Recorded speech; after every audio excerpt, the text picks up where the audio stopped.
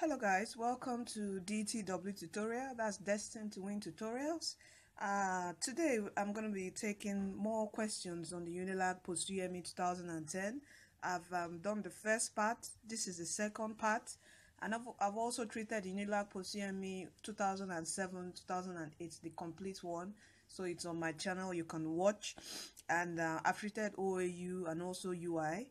I think OAU, they've done their exams. UI, I'm about to hear their dates for their exams yet. But you can watch that first video for the UI. So this is the continuation on the Unilag Post UME, which their exams are this week.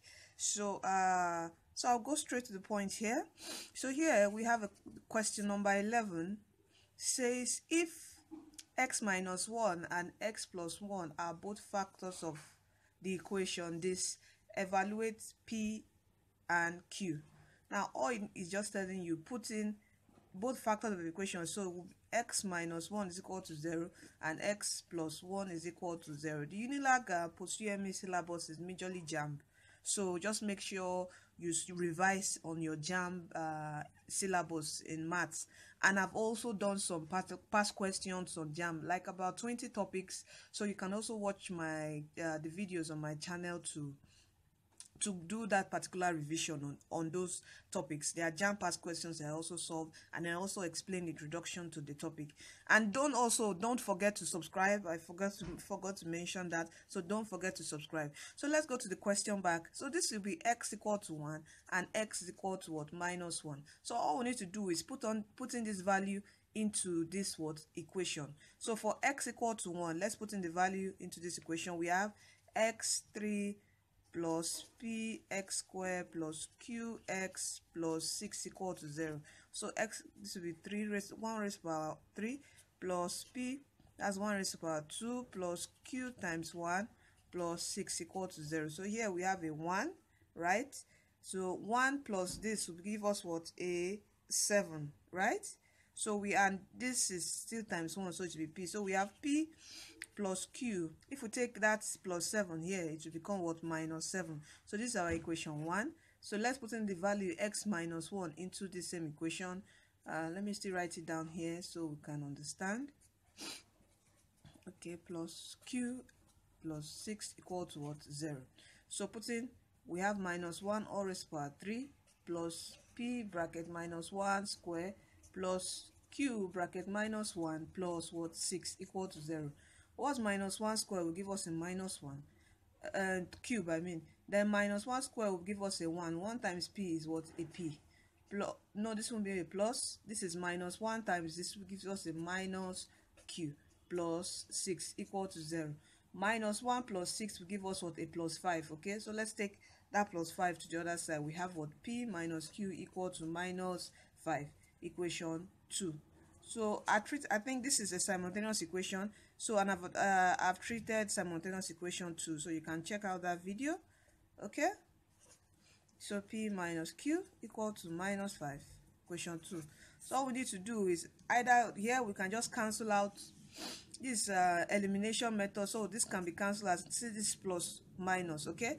So here so here we have a minus 7 minus 5 which will give us what? A minus 12 this plus this will give us what 2p so to get p we divide both sides by 2 so here cancel we have p equal to what minus 6 2 here 1 2 here 6 and drop our minus sign. That's minus 6 now since we know p as minus 6 let's just put this value of p into equation. We can put in either of equation. Let's say we put it in equation 1 which is p plus q equal to minus 7 so the value of p is what? Minus 6 plus q equal to minus 7 to get our p we'll take minus 6 to this side. That is what? P equal to minus 7 when we take minus here we have a plus 6 and what will this give us minus 7 plus 6 i've treated a, a a video on signs when you multiply when you add signs so try to watch that video so you understand get a proper understanding of how you operate with signs okay?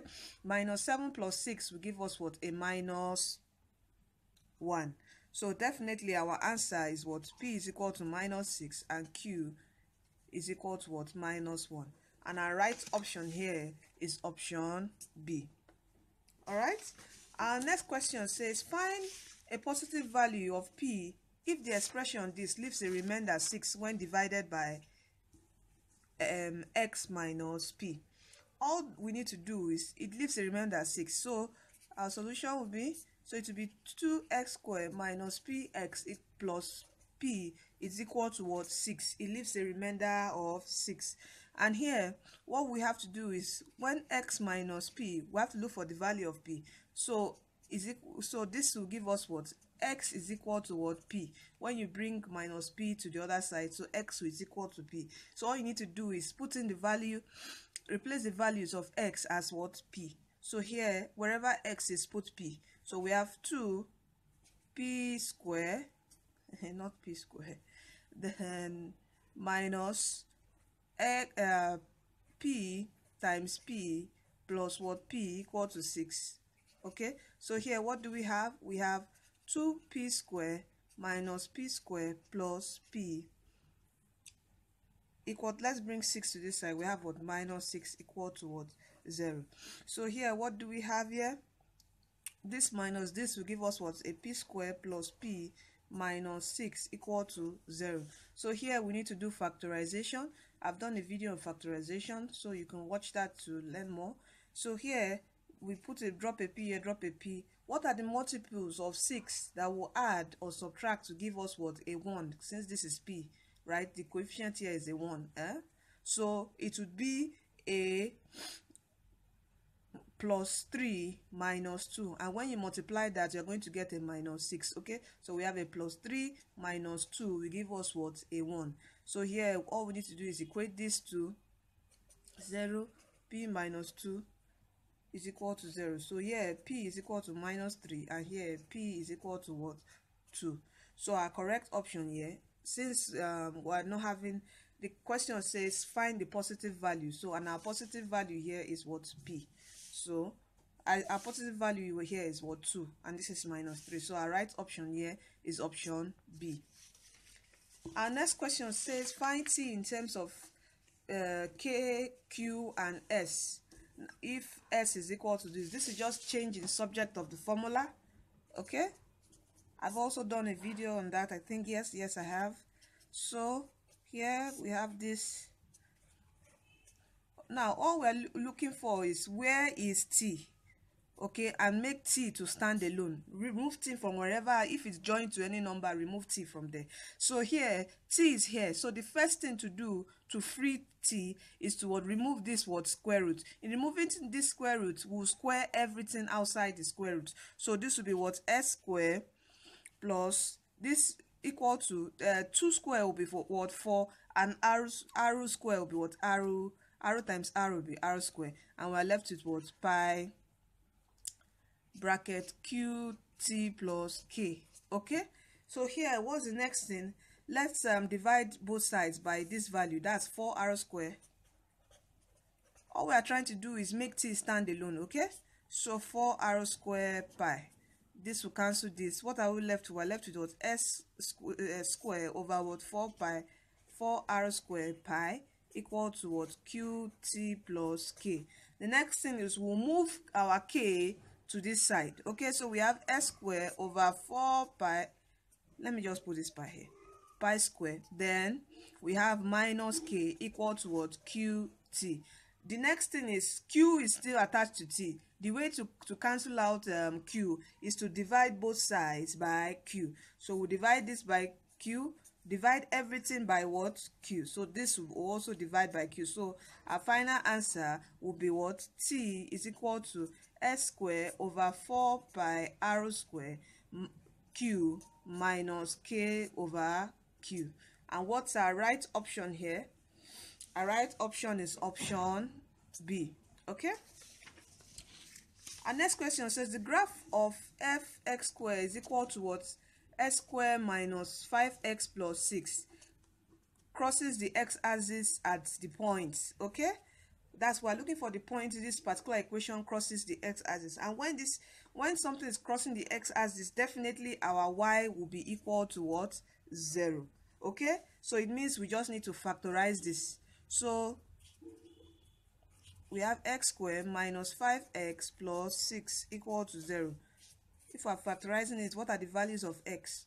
So what are the factors of 6 that will either add or subtract to give us minus 5 and that would be what? A minus 3 and minus 2 equal to what? 0 so definitely x will be equal to if you equate this to 0 you bring 3 to this side we have x equal to 3 and x is equal to what? 2 so definitely our axis since this is x y x y since x is equal to 0 so we have here 3 comma 0 that's our point will be 2 comma what 0 and what's our right option here? Our right answer is option d.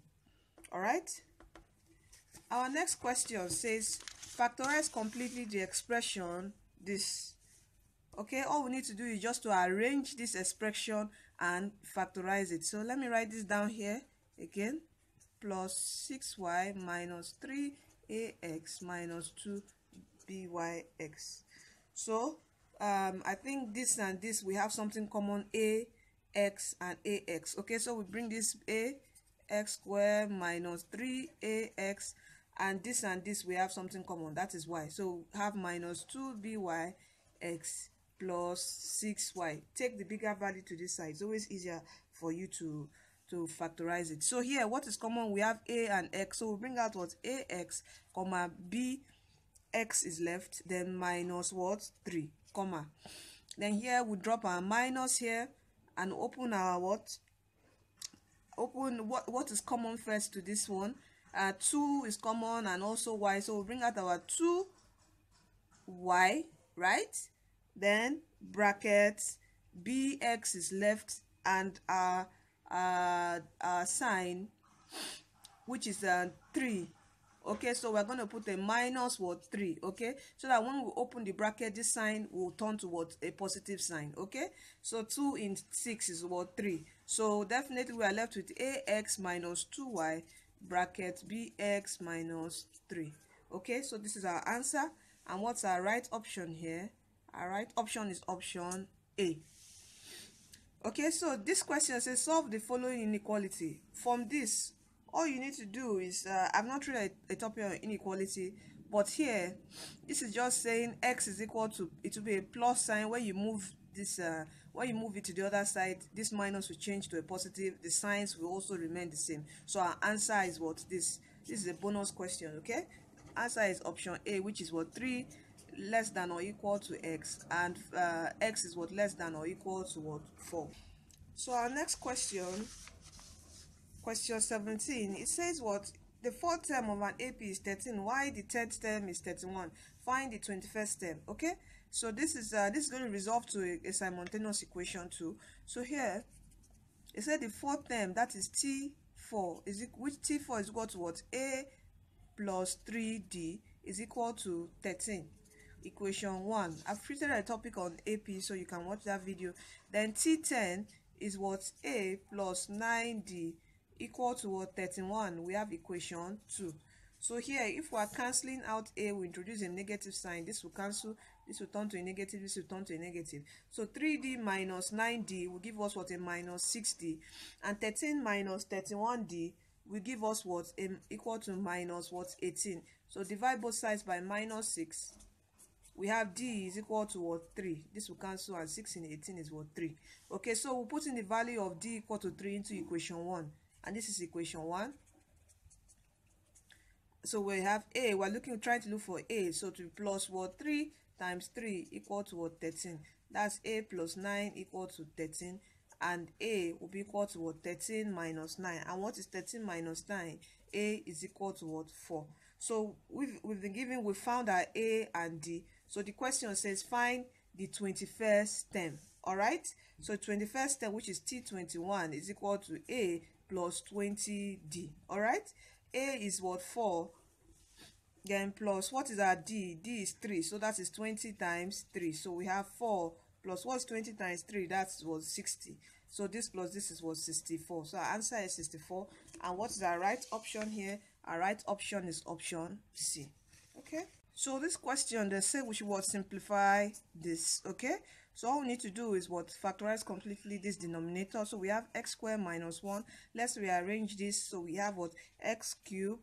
Bring this minus x then minus 2x squared minus 2 okay? So we have x squared minus 1 over what's common to this and this. We have x out okay? So x then what's left here? x squared minus 1 bracket minus we'll bring out 2 so we have 2 bracket x squared minus 1 okay? So what do we have here? We have x squared minus 1 over x minus 2 bracket what? X squared minus 1 okay? Where this will cancel this and we're left with what? 1 over what? X minus 2 and our right option here is option d.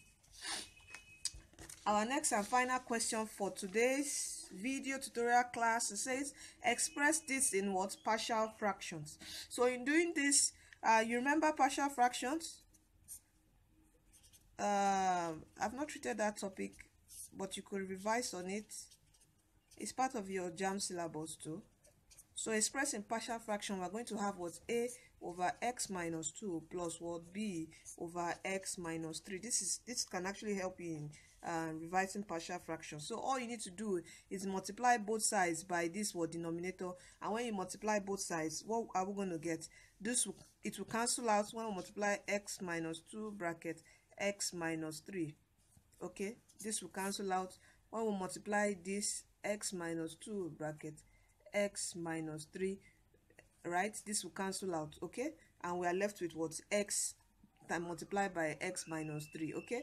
When we multiply this also by x minus 2 bracket x minus 3 this will cancel and we are left with what? X minus 2 so what are we left with? We are left with what? 5x minus 12 equal to a bracket x minus 3 bracket what? Plus b bracket x minus 2 so in partial fractions all you need to do is to get a how are you going? What will you do? You will make sure b turns towards 0 and to make b turn to 0 we'll make this what? A 2 since 2 minus 2 is 0 so 0 times b is 0 so this will cancel out okay? So to get a comma x is equal to what? 2 so put into we have 5 bracket 2 minus 12 equal to what? A bracket 2 minus 3 plus b bracket 2 minus 2 which will give us a 0 so what are we left with? We are left with 10 minus 12 equal to what? This is uh, 2 minus 3 which was minus 1 okay minus 1 times a we have what? A minus what? A. So what are we ha having here? 10 minus 12 give us a minus 2 equal to what? A minus a where this will cancel and a is equal to what? 2 okay so to get our b to get b yeah so to get our b we have what? We're going to make what x equal to what 3 since 3 minus 3 will give us a 0 and this will cancel out a. So we say x is equal to what 3 uh sometimes you might hear the airplane uh, noise in, uh, in my videos. This is because i live quite close to the airport so you get to hear a, an airplane noise flying over my my home my apartment. So here Mm, so sorry for that. I just want to apologize for that. So to get our b, x is equal to what? 3. So putting this value into here. So we have what? 5 bracket what? Eh, 3. Okay, minus 12 equal to what? A bracket 3 minus 3 plus b bracket 3 minus 2 where this will cancel out okay? And we're left with what? 3 3 times 50, uh, 5 that will give us 15 minus 12 equal to this is 3 minus 1 okay which is 1 and 1 times b is what? B. So what is 15 minus 12 that is 3 so b is equal to what? 3 so definitely we'll put in our value of uh, b and a into our partial fraction okay? So therefore what is a is what? 2 over x minus 2 plus what's b? 3 over x minus 3 so this is our answer resolving in partial fraction. So what's our right option here? Our right option is option b okay? So thank you for staying tuned to today's video tutorial class. Uh, i'll try my best to complete this particular year before your exams. And I know the exams is from 4 to 6 so I'll try to complete it before the end of your exams by God's grace okay? So thank you for staying tuned to today's video tutorial class. Please like share and subscribe to this channel. Try to share to your friends to help them in their exams okay?